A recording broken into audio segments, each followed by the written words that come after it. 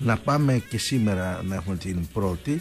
Ε, καλησπέρα μας την κυρία Κωνσταντίνα Τσιουπρά. Καλημέρα σας κυρία Τσιουπρά. Καλημέρα. Διότι, διότι είστε η υπεύθυνη διοργάνωση του φεστιβάλ ε, και μέλος του Κεντρικού Συμβουλίου της ΚΝΕ, του φεστιβάλ της ΚΝΕ Οδηγητής, το οποίο σήμερα κορυφώνεται θα λέγαμε έτσι. Ναι, σήμερα είναι η τελευταία και κορύφωση αποτελεί του φεστιβάλ μας γιατί έχουμε και την κεντρική ομιλία με τον Γενικό Γραμματέα της Κεντρικής Επιτροπής του ΚΚΕ Δημήτρη Κουτσούμπα και θα χαιρετήσει και ο Γραμματέας του Κεντρικού Συμβουλίου της ΚΝΕ Νίκο Σαμπατιέλος. Ναι, ανέφερα νωρίτερα ότι είναι ο ανιψιός του αγαπημένου μου συμμαχτή 6 χρόνια στο Ιδρυσάνο, η Δημήτρια Σαμπατιέλος. Τέλος πάντων, χαιρετισμούς. Αν περάσω το βράδυ θα, θα, θα τις μεταφέρω εγώ προσωπικά. Αλλά ε, εκείνο που εντυπωσιάζει είναι ότι είναι το 45ο φεστιβάλ. Είναι ένας θεσμός ο οποίος έχει αντέξει το χρόνο. Ουσιαστικά η ιστορία της μεταπολίτευσης σε επίπεδο νεολαίας γράφεται ή σφραγίζεται, αν θέλει, μπορεί να πει κανείς, σε αυτό το, το ετήσιο φεστιβάλ. Τι είναι αυτό, ποιο είναι το μυστικό που έχει και εσείς αντέξατε, γιατί φεστιβάλ κάνανε όλες οι νεολαίες κάποτε, ή σχεδόν όλες, οι περισσότερες. Μόνο εσείς εξακολουθείτε να κάνετε και με επιτυχία από ό,τι βλέπω. Αυτό το οποίο κάνει το φεστιβάλ μας να αντέχει είναι γιατί η ίδια η πρόταση του κόμματος και της ΚΝΕ που αντέχει στο χρόνο και παραμένει επίκαιρη και πρωτοπόρα και καινοτόμα και όπως αλλιώς θα μπορούσαμε να τη χαρακτηρίσουμε. Γιατί μέσα από το φεστιβάλ μας και τα 45 χρόνια της και φέτος θέλουμε καταρχήν να αποτελέσει ε, ένα σημείο συνάντησης όλων αυτών των νέων και έναρξης κιόλας της νέας χρονιάς αγωνιστικής έναρξης της νέας χρονιάς, να συζητήσουμε, να προβληματιστούμε πάνω στο τι ε, αντιμετωπίζει ένας νέος σήμερα, το τι βιώνει, το πώς θα παλέψει για να λύσει τα προβλήματά του, να διεκδικήσει. Να διεκδικήσει ενάντια σε αυτό το σύστημα, ενάντια στην κυβέρνηση για την οικοδόμηση μιας κοινωνίας χωρίς εκμετάλλευση σοσιαλισμού.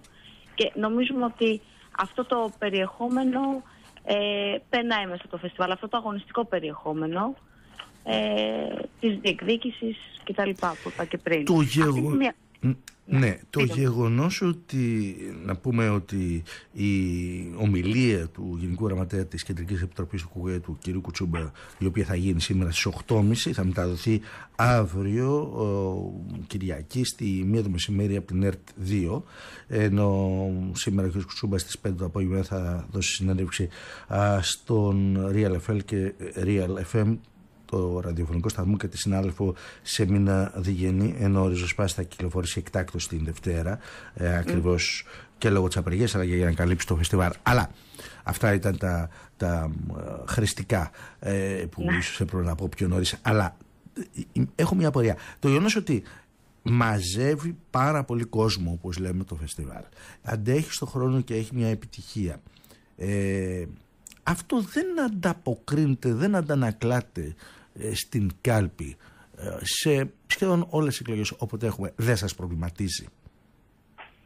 Ε, καταρχήν, ε, αλλά σίγουρα και οι εκλογές μπορούν να αποτελέσουν ένα, και αποτελούν ένα δίκτυ και αμέσως μετά και όλες τις εκλογές, αν είδατε και η Κεντρική Επιτροπή έβγαλε και ανακοίνωση με την οποία εκτίμησε και τα αποτελέσματα, περάσαμε σε γύρω συζητήσεων. Θέλω να πω όπως και να έχει και μέσα στις, στο κόμμα και με τους ε, οπαδούς, τους φίλους του κόμματος, όλα αυτά τα ζητήματα τα, τα συζητάμε.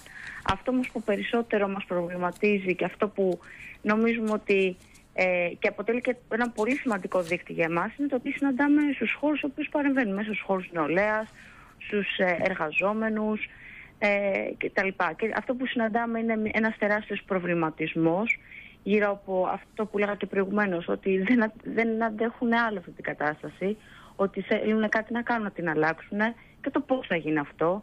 Είναι ένα τερά, μια τεράστια ανταπόκριση και ένα, μια εκτίμηση απέναντι στο κόμμα, γιατί βλέπουν ότι οι κομμουνιστές γίνουν στην πρώτη γραμμή ε, για να παλέψουν και μέσα στο καλοκαίρι τώρα, το, το, το τελευταίο αυτές τους πρώτους μήνες της νέας κυβέρνησης και με μπροστάρδες στους κομμουνιστές οργανώθηκε η όποια κινητοποίηση και με, όποια, με μπροστάρδες κομμουνιστές. Ε, και όχι μόνο βεβαίως και άλλους αγωνιστές ανθρώπους ε, παλεύουμε για την επιτυχία της απεργίας της, την Τρίτη και αυτό είναι ο πιο σημαντικός δείκτης για εμάς.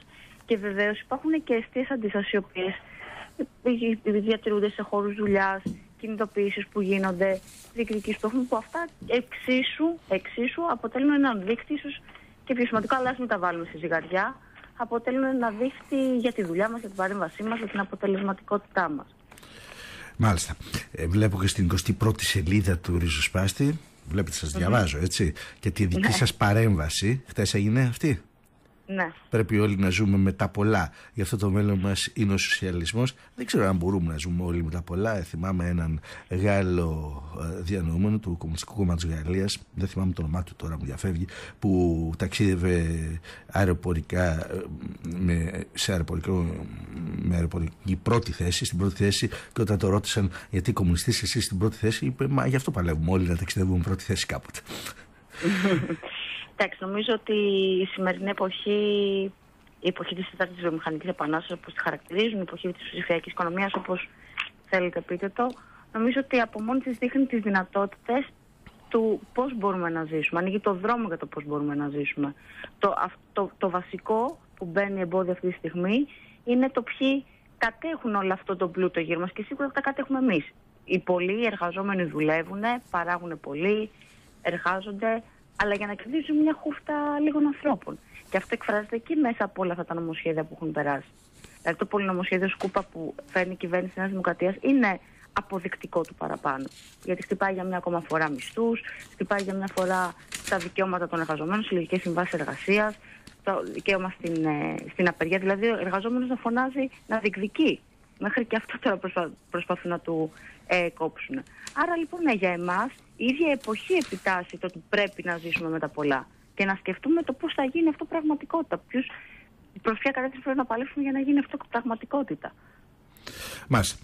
Ε, η κυρία Κωνσταντίνα Τσιουπρά, στο οργανωτική υπεύθυνη, έτσι να το πούμε, υπεύθυνη της διοργάνωσης του φεστιβάλ ΚΝΕ. ναι, ας το πούμε κάπως έτσι. Όλα τα μέλη της ΚΝΕ, άλλωστε ξέρετε το φεστιβάλ μας ε, δημιουργείται, χτίζεται αυτή η μικρή πολιτεία με την εθελοντική προσφορά όλων των μέλων της ΚΝΕ. Μας βοήθησε να μεταφερθούμε νοερά έστω μέσω των Ερτζιανών στο χώρο ενός φεστιβάλ, ενός θεσμού που αντέχει 45 χρόνια ε, να ε, μεγαλώνεται και να αντέχετε στο χρόνο κυρία Τσίπρα. Σας ευχαριστούμε πολύ. Καλή επιτυχία στο φεστιβάλ σας. Να καλά.